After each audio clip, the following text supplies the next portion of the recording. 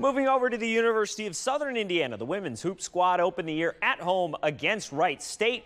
Tough turnaround by Maddie Webb to put USI up seven with six and a half to play.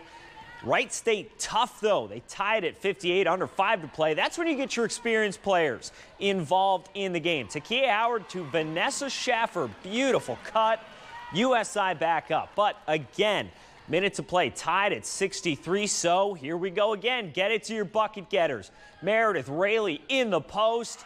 How about the Jordan shrug after the make? Love to see it. Everyone's fired up. USI back up. 65 63 now. Addison Blackwell at the line. She would miss the first, but make the second USI up three.